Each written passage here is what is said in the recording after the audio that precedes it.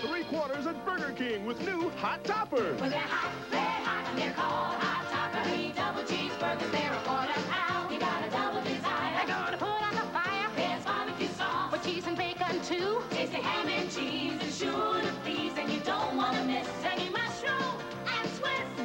But Hot Toppers won't last, so get to Burger King fast. Hot Toppers, appearing for limited engagement. We know, we know how burgers should be.